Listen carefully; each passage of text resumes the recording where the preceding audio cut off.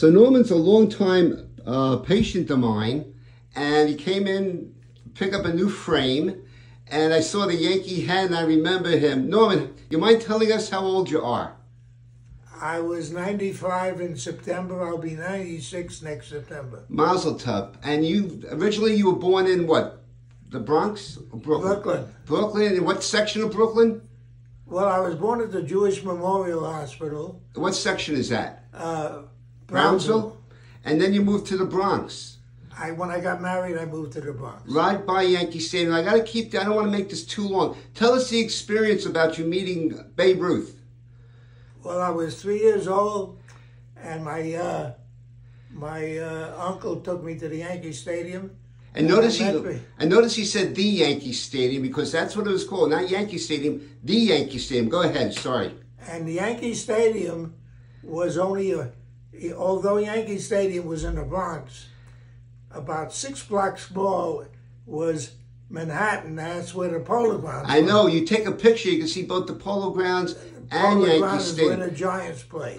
But anyway, do you go back east at all or no? Do you go back to New York? I've been I've been back quite often, but the last couple of years, um, it was too much of a. Yeah, I understand. I was just back there last week. God, this is great. I could talk to you forever. You said, let me just reiterate some of the things. You said in Jersey you were neighbors of Phil Rizzuto and Yogi Berra, right?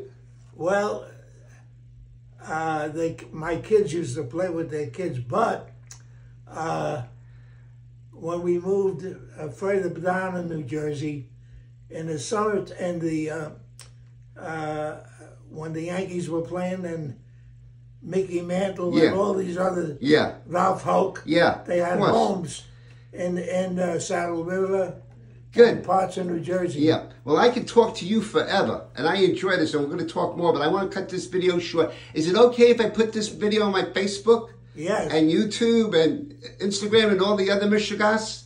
yeah. uh, And you, Vishtes Michigas? Ich, ich taste. uh, what happens is, my son-in-law, who comes here all the time, he, uh, we went to the Baseball Hall of Fame Wait, how long ago?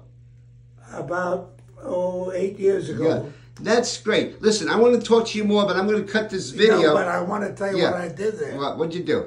My son, who was uh, who was a big shot with Warner Brothers, he's Uh-huh. he got us a tour, and they let me swing, and he's got it on tape. They let me swing Lou Gehrig's bat, Wow. and and I was so nervous I was afraid I was going to drop it. Wow, that's great. Did you ever see the movie Pride of the Yankees? Of course, Of Lou course you did. This Lou Gehrig story. Well, I'm going to end it off here. It's so wonderful speaking to you. I'm sure my group of people love listening to you.